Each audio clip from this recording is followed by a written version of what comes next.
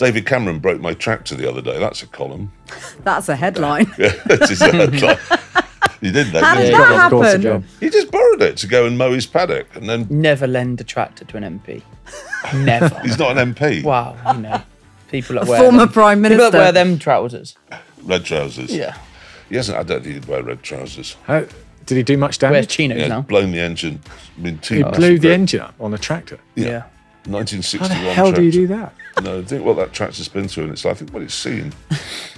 You know, it's, It's ploughed field all day. It never every thought it would be the, ended that you know, way. A month on years, end. And then all of a sudden, David Cameron jumps on it and it goes, 200 you know yards. what? Bang. 200 yards. Yeah.